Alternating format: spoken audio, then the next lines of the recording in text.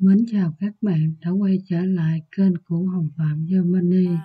Hôm nay Hồng xin chia sẻ những chú bồ câu bé nhỏ hiền lành tung cánh đùa giỡn, tự do phai là lượng trên bầu trời khi bình minh hé sáng. Mời cả nhà cùng ngắm nhìn.